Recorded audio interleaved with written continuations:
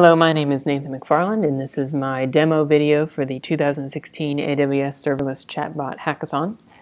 The goal of this hackathon is to be able to build a serverless chatbot that runs in AWS using Amazon's API Gateway and also Lambda, and to integrate that with Slack using some of their various integration methods.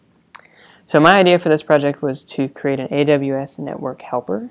As a developer in AWS, one of the things that I often spend my, most of my time on is trying to figure out why I cannot connect to instance A from instance B or my database from my computer or uh, what have you.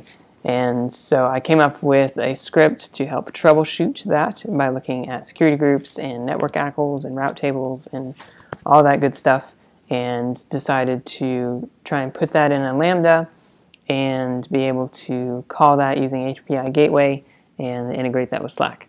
So it's a pretty fun project, not necessarily easy, but uh, I've been able to get it so far to answer questions like you see here on the right side, like why can I cannot, why can't I connect to my EC2 instance from my other EC2 instance? I cannot connect to the internet from my EC2 instance on port 443.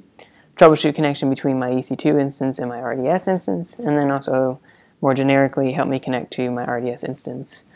And you don't have to specify a port in any of these questions or statements. It is intelligent enough to make some assumptions based on your destination, what you might be trying to do, and but you can uh, obviously be a little more specific if things are maybe not the default ports. So briefly, the architecture here is using a Slack slash command to hit API gateway, and then it makes an asynchronous call to my listener lambda. Now I have my code in two different lambdas, and the reason for that is because the core of my code is down here in the AWS network helper, and it's pretty agnostic when it comes to the response style, so it doesn't have to be just used with Slack, and that was my goal. So I can have multiple listeners up here for different web apps or things like that to be able to all post to this SNS topic and then run the same Lambda on the back end and specify how the response should be handled using KMS and also S3 for encryption and then some externalized configs. So on to a demo of how this works.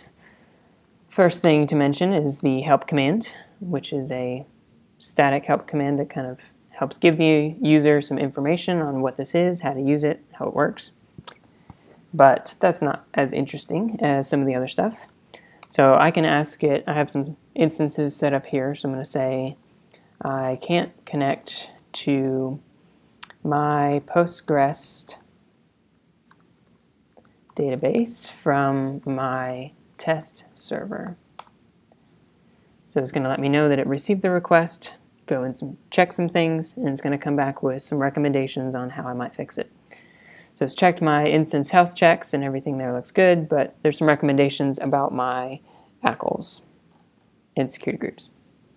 So you can see those here. It's checking ephemeral port ranges and also giving me some recommendations on what security group to provide uh, the access to, and then also it provides a link to some additional documentation that's provided by AWS.